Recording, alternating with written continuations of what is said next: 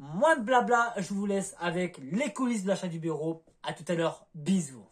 Non, euh, je suis en train de douter sur quelque chose. Je ne vois plus mon bureau.